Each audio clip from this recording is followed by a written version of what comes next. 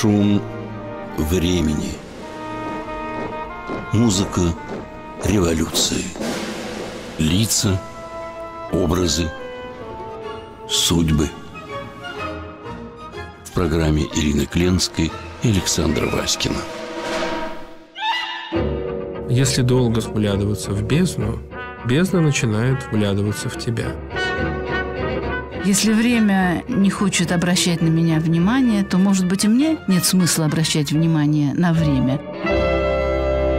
Так говорил Гавриил Попов, один из блистательных авангардистов XX века, композитор, который нам известен всем, потому что музыка к фильму Чапаев написана им. В 20-е годы это была одна из самых ярких, спорных и дерзких фигур его сравнивали с Шостаковичем. Да что говорить, Шостакович считал, что Гавриил Попов один из интереснейших композиторов 20 века. Попова называли музыкальным экспрессионистом, конструктивистом. Но ведь мы, по сути, не знаем никого, кроме Шостаковича. Поэтому о ком бы мы ни заводили речь, Шостакович для нас главное мерило. Трудно себе представить, что когда-то было совершенно по-иному. И когда приезжали зарубежные, европейские композиторы в советскую Россию в 20-е годы, то Шостакович отнюдь не стоял на первом месте. Вот, например, воспоминания Мио, знаменитого французского композитора. Молодые композиторы Ленинграда составляют наиболее живую часть советской музыки. Посмотрите, кого он называет. Тут нет речи о Шостаковиче. Тишевов, Попов, Рязанов, Шиллингер. Русская музыка чрезвычайно жизнеспособна. Настало время познакомить публику Запада с произведениями молодой русской музыкальной школы, значение которой я имел счастье отметить первым. Эти слова Дариус Мио изрек в 26 году. А вот свидетельство уже современного исследователя Алекс Росс, книга «Дальше шум», посвященная музыке 20 века, он пишет о том, что Шостакович был не первым советским композитором, которого государство подвергло цензуре. В 1935 году Гавриил Попов, чрезвычайно одаренный музыкант, соученик Шостаковича, представил свою первую симфонию, необычайной силе которой многим обязаны все последующие симфонии Шостаковича. Влияние Попова на музыку Шостаковича было огромным.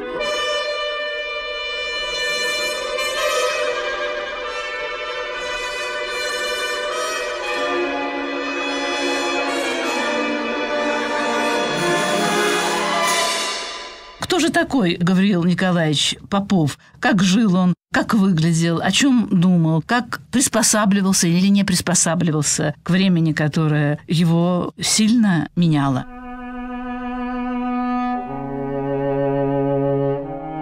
Родился он в Новочеркасске, учился в Донской консерватории. Очень культурная семья, дворянская. Отец преподаватель словесности в гимназии, а мачеха обожала своего пасынка. Звали ее Адель Васильевна, немка по происхождению. И Гавриила она звала, соответственно, на иностранный манер Гавриком или Габриэлем. 13 лет он поступил в Донскую консерваторию Русского музыкального общества и учился одновременно по двум классам – фортепиано и композиции. То есть воспитали, можно сказать, его в домашней обстановке. Прекрасное образование он получил благодаря родителям. И в 22 году семья переезжает в Петроград, и здесь он уже живет, учится в Ленинградской консерватории у знаменитого Щербачева. А надо сказать, что в то время было две школы. Ленинградская, ее возглавлял Щербачев, и Московская музыкальная школа под водительством Шибалина. Так вот, Щербачев отмечал превосходство своего ученика Гавриила Попова. Он говорил, что полифоническое, мелодическое движение получается у Попова гораздо лучше, чем у меня.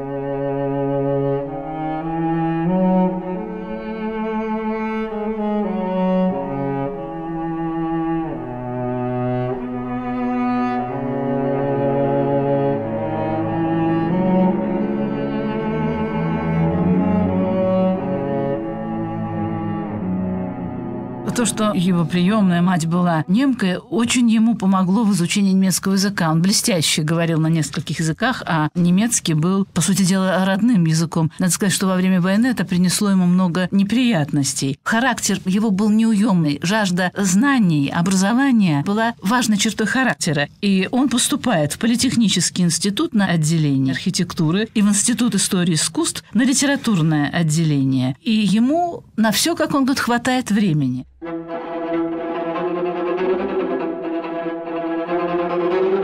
Сохранился портрет Гаврила Николаевича Попова, как его описывает один из его друзей. Это был вихрь, плотный, коренастый, темно-рыжий. В руках всегда портфель, полный книг, статей, нот. Он всегда полон идей. Он тут же, когда видит рояль, садится, начинает играть, делиться своими музыкальными идеями, сомнениями, своими, как он говорил, дерзостями. 20-е годы – время, когда все менялось. Вот, например, поэт Владимир Маяковский написал такие стишки. «Плюньте и на рифмы, и на арии, и на розовый куст, и на прочие мерехлюндии из арсеналов искусств. Дайте нам новые формы. Вот это желание новых форм овладело молодыми людьми. Надо сказать, что культурой занимался Луначарский, а начальником музыкального отдела наркомпроса назначили Артура Лурье. Это такой был композитор, писавший музыку, как он говорил, в стиле и в духе Александра Скрябина. И вот начался переворот музыкальный. Как пишется в одной из книг, русские композиторы 20-х годов стали авторами самых диких звуков того времени, во многом превосходя в какофонии своих западных коллег. Александр Масолов в пьесе «Завод. Музыка машин» использовал звуки и скрежет машин. Николай Рословец в соответствии с новой системой организации тона создал синтетический, как он говорил, аккорд. Георгий Римский-Корсаков, внук великого композитора, создал общество новоатональной музыки, а Арсений Авраамов написал симфонию гудков, и в 22 году состоялось в Баку исполнение интернационала и Марсельезы с помощью автомобильных гудков, артиллерии, пулеметов и сирен кораблей Балтийского моря. Один критик едко заметил, французский, услышав музыку Мио, «Слава Богу, в Париже еще есть дома для умалишенных».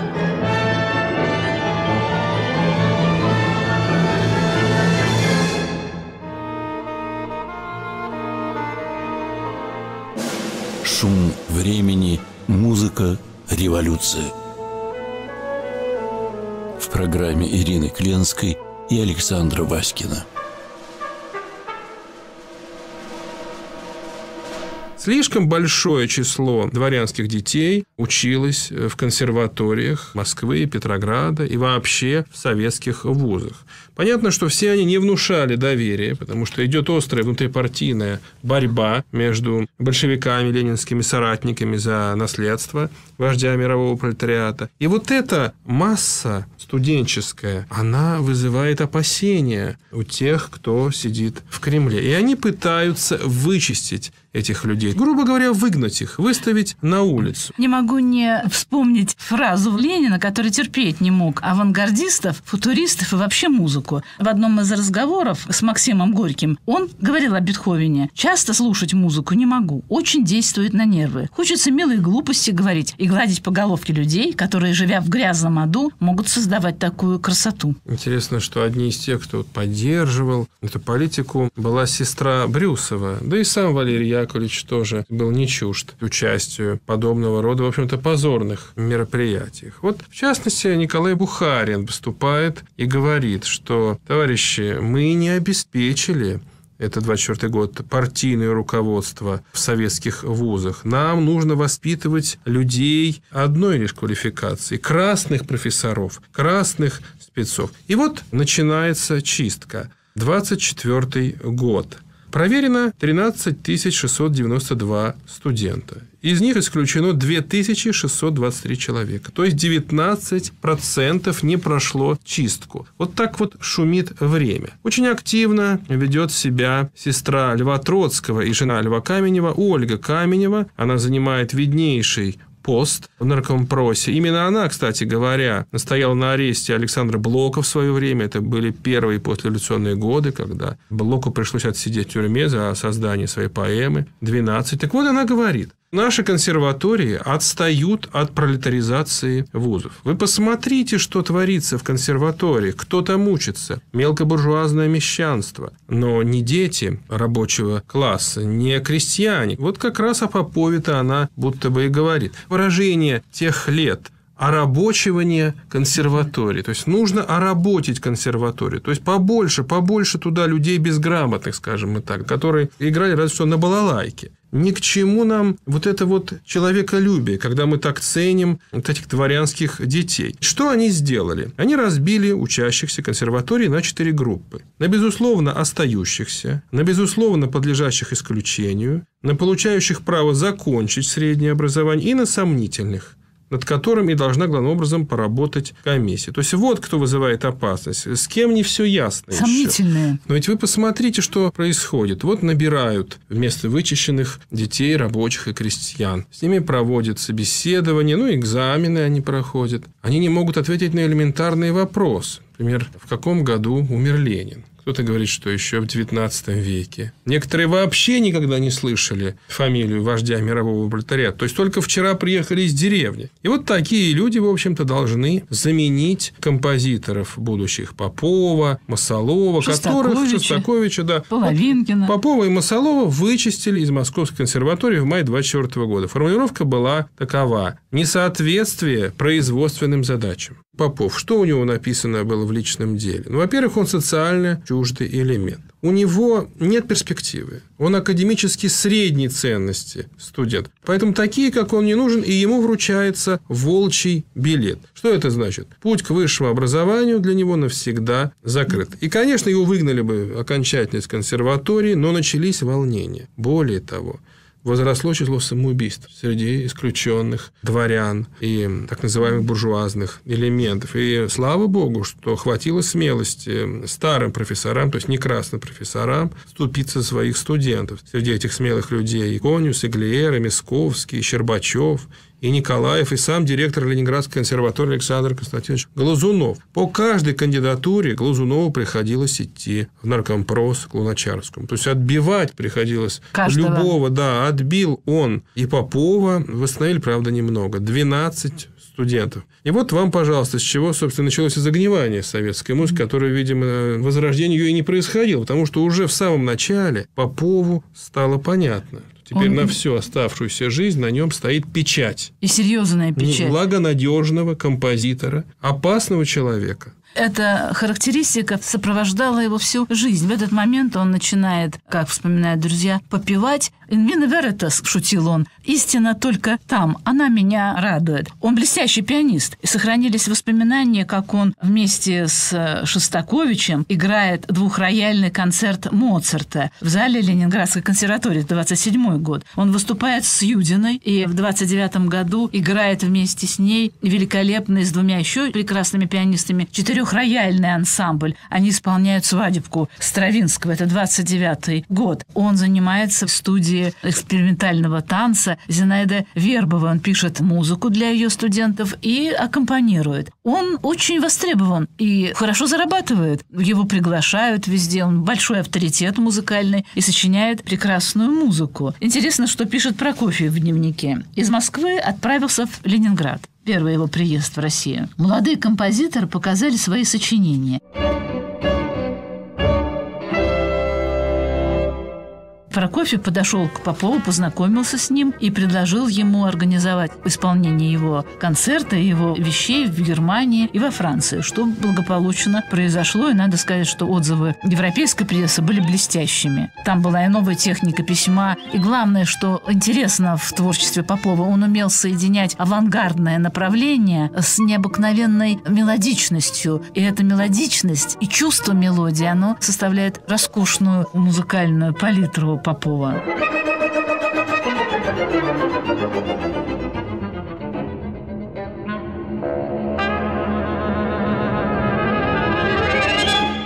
Пройдет немного времени, и вот этот отзыв Прокофьева Попова буду ставить в вину потому что неожиданно все для него обернется. Пока еще все для него замечательно. Он учится в консерватории. С 27 по 31 годы преподает в Ленинградском центральном музыкальном техникуме, а там учится Никита Богословский, его любимый ученик. Выступает он с Юдиной, знаменитой пианисткой. Его приглашают выступать в кинотеатрах. Он ничему не чужд. И в это время как раз появляется в 27 году знаменитый септет, произведение для семи музыкальных инструментов для флейты, кларнета, фагота, трубы, скрипки, виолончели и контрабаса.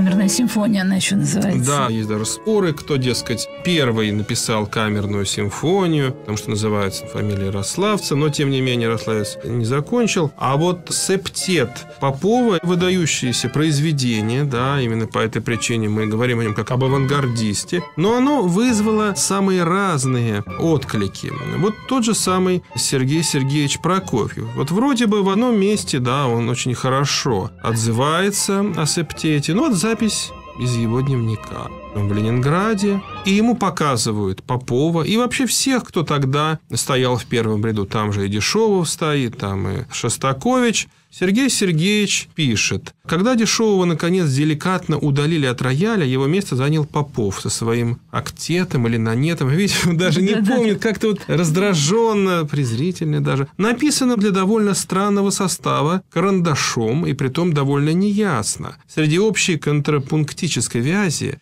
мелькали интересные моменты. Я, вероятно, воспринял бы гораздо больше, если бы в моем мозгу уже не шевелились бы какие-то тяжелые валы от всей прослушанной за сегодняшний день музыки. По-видимому, Попов для развлечения публики ввел довольно легкомысленную темку, которая, однако, меня раздражала, ибо мне казалось, что он в погоне за контрастом переборщил.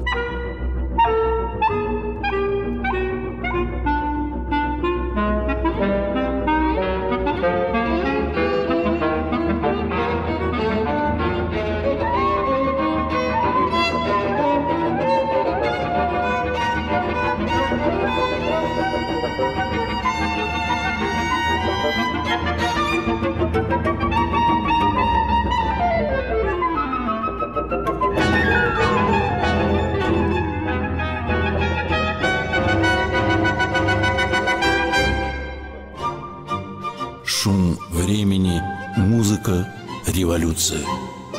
В программе Ирины Кленской и Александра Васькина. В 1932 году, 10 октября, премьера первой симфонии. Попова он играет ее на всесоюзном конкурсе в честь 15-летия октября.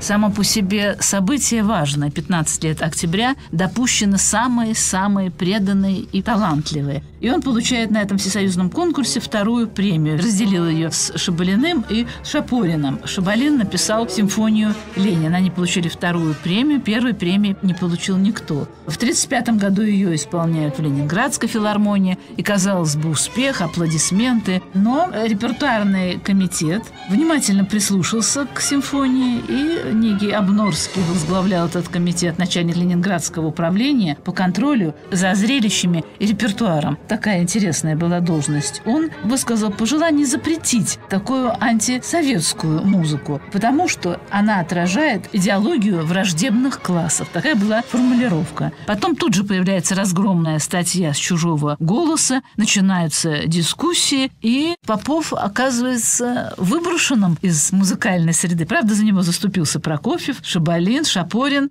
Шостакович подписал письмо, но ничего не помогло, его не тронули. Но симфонию больше никогда не исполняли. Только, по-моему, уже после его смерти, в годы перестройки, начали исполнять музыку Попова и его первую симфонию.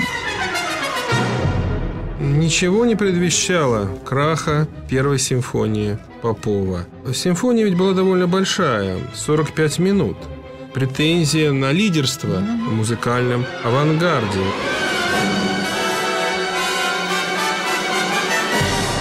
Что это за время? Время перехода от свободного творчества, существования различных союзов в любом направлении искусства. И у писателей, и у художников, и у композиторов. То есть люди разных взглядов собраны в различные профсоюзы, и вот они друг с другом борются. И вот уже 32 год ликвидация всех созданий самовольных и единый стиль провозглашается – соцреализм. И похоже, что Попов, его как бы переехал вот этот поезд истории, потому что и время работы над первой симфонией совпало с перестройкой, как тогда это называлось, творческих организаций. 29 год. Игоря Стравинского объявляют кулацким элементом. Это о многом говорит. Но для Попова будто ничего не происходит. Он как будто не чувствует времени. Ведь вот тогда впервые он исполнил в варианте симфонию, там присутствовал на исполнении, это было в Большом театре. Там ведь не только сидели Гальденвейзер, Голованов, Мисковский, там еще был и нарком обороны товарищ Ворошилов. И именно он и объявил ему благодарность в своем приказе, наградив ценным подарком. Ну, сколько мы узнаем о маршале Ворошилове. Представляете, какой творческий человек. Пройдет 10 лет, и он будет руководить созданием советского гимна. Попов продолжает работать над симфонией. Он окрылен. Ну как же? Сам Ворошилов отметил успехи композитора. Март 1935 года. Работа заканчивается. Но вот не понимает, видимо, не уловил Попов, что симфония его не ко времени.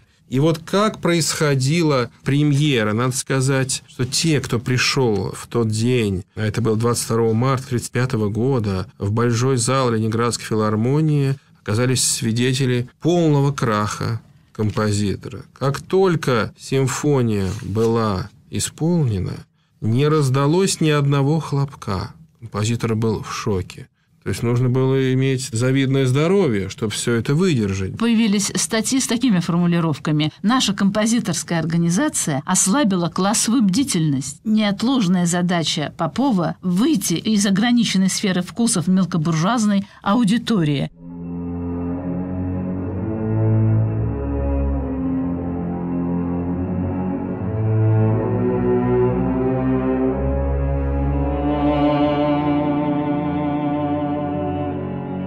впал в глубочайшую депрессию, и это был удар, который он тяжело переживал. Он не ел, не пил, не выходил из дома, ни с кем не общался и ничего не писал. И сильно пил.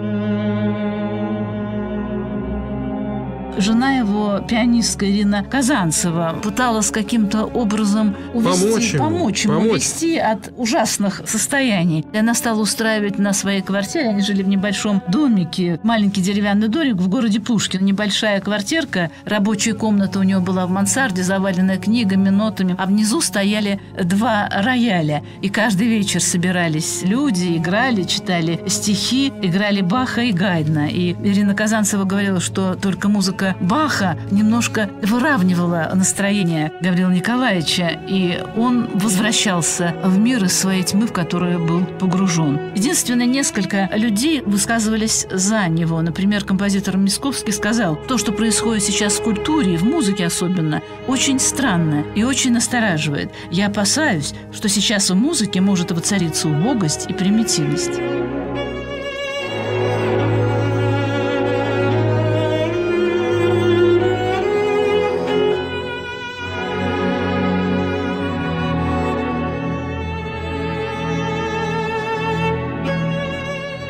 Только супруга как-то поддерживала композитора, но и его друзья Шостакович, Солертинский, тот же знаменитый дирижер Фриц Штидри, что дирижировал симфонией Попова в день премьеры. Жил он в Пушкине и соседствовал с Константином Фединым. И Федин, представьте себе, решил написать вот по мотивам этого соседства рассказ. Вот у меня это старая книжечка 45 -го года. Называется «На свидание с Ленинградом». Рассказ о дворце называется. Посмотрите, как интересно написано. Перед своим отъездом из Москвы я встретил композитора Попова, который тяжело больным был эвакуирован из осажденного Ленинграда. Поправился и нынче снова сочиняет музыку.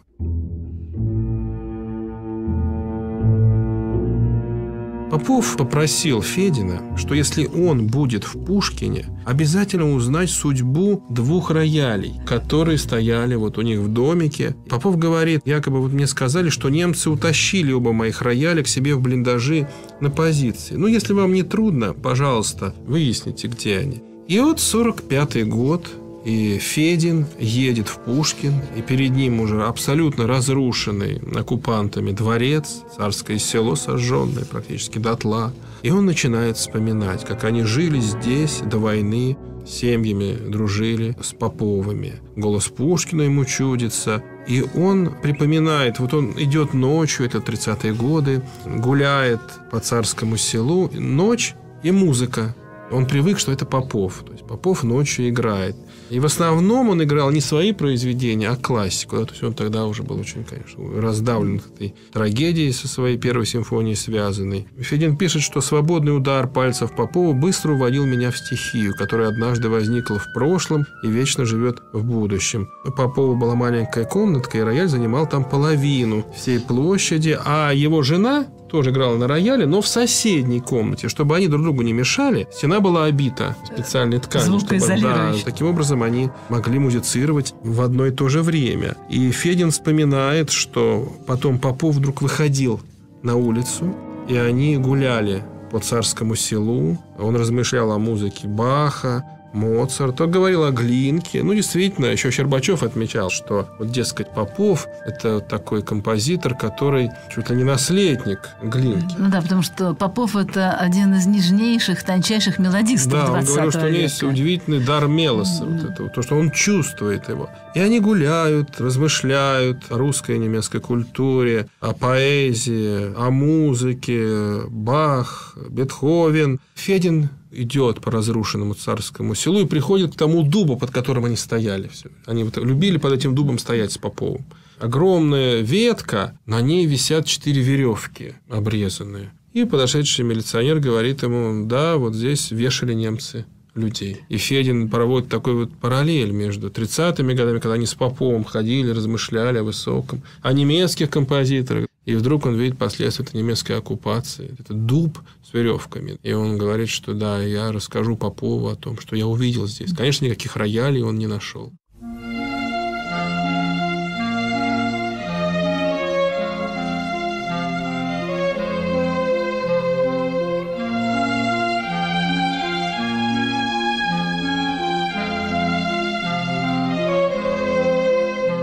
Как Попов говорил, мои симфонии запретили, меня запретили, я бушевал и горевал. Но не все же время нужно горевать и бушевать. Он находит отдушину так называемой прикладной музыки. И эта прикладная музыка стала его убежищем. Я открыл, говорил Попов, для себя совершенно новый и удивительный мир страстей, движений, человеческих чувств.